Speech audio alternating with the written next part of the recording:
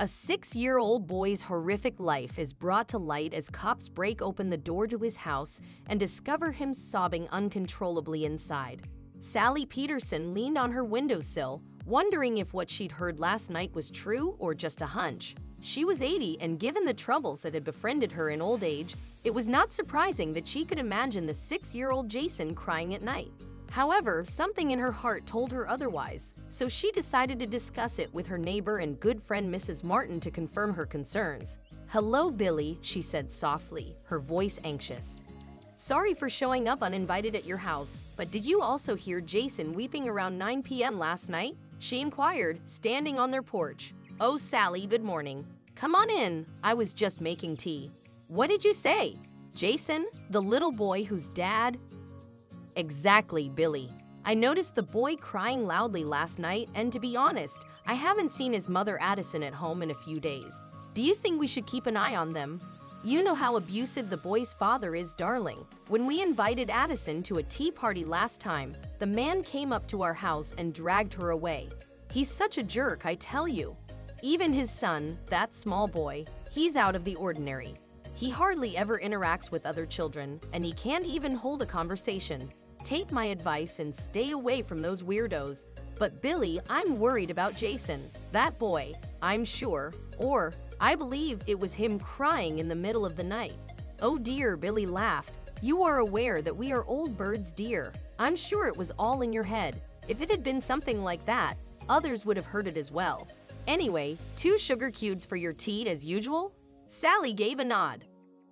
Oh, I do hope I'm wrong, Billy, and you're right, she said, hoping Jason was fine and it was all a figment of her imagination. But she heard the wailing sound again that night. This time it seemed louder, and Sally instantly dialed Billy's number.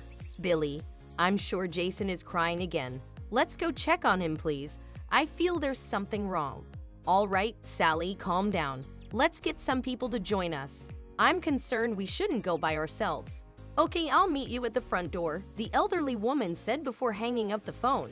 A few minutes later, Sally, Billy, and Billy's next door neighbors, the Andersons, arrived at Jason's door. Sally, I hate to admit it, but you were right. Billy said, Carrie and Jake just told me that they overheard some of our neighbors complaining about Jason sobbing in the middle of the night. I hope the boy is okay. Oh dear, I knew something was wrong. I hope that little boy is okay. Sally's heart was racing in her chest. She rang the doorbell several times but got no answer. Jason, Mr. Barrett, could you please open the door? This is Mrs. Peterson, Sally Peterson, your next door neighbor.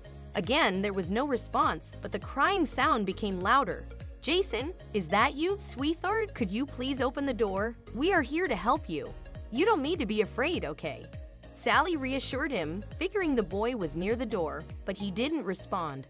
At that point, the neighbors decided to call 911. Around 10 minutes later, what felt like an eternity to Sally, the cops arrived on the scene.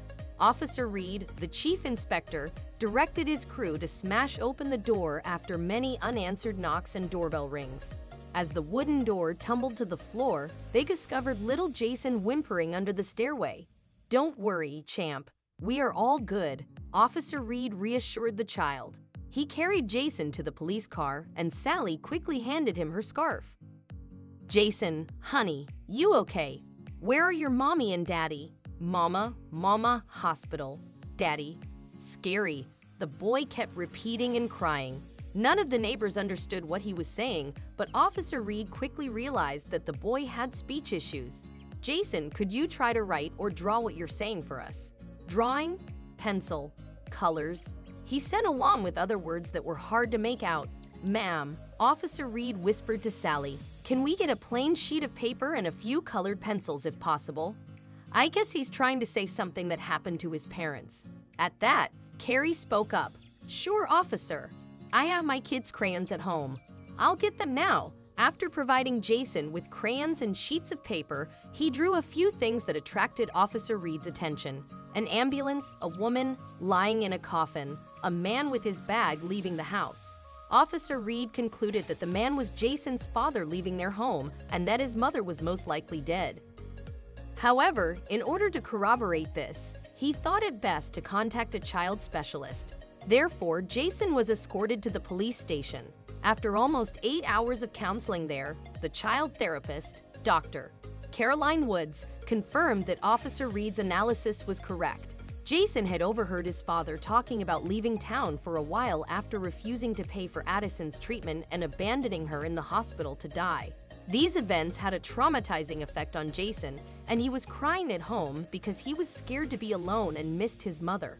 At one point, he wanted to talk to his neighbors, but his father had threatened him that he would be dead, much like his mother if he revealed anything. After the terrifying event, Jason was sent to therapy, and Officer Reed frequently checked on him throughout that time. Meanwhile, his team looked into Mr. Barrett's whereabouts after Addison's death was confirmed at a city hospital. The search for Mr. Barrett lasted nearly six months before he was apprehended in Mexico. It turns out he and his rich girlfriend were on vacation when they got the news about how he was exposed for killing his wife. He was nothing more than a burden to us. That weirdo should have died. Just like his loser mother, she was sick, and so is he. He said, mocking his son and late wife in court, but karma caught up with him. After the trial, he and his beloved were sentenced to prison, while Jason's life improved dramatically. Officer Reed and his wife, who were unable to have children, adopted and raised the young boy as their own. They also sent him to counseling, which healed his speech problems. You won't believe it, but Jason Reed is now a TV presenter for a well-known news channel. And every time he sits down and focuses on the camera, he thanks God for that night when Sally and Officer Reed came into his life.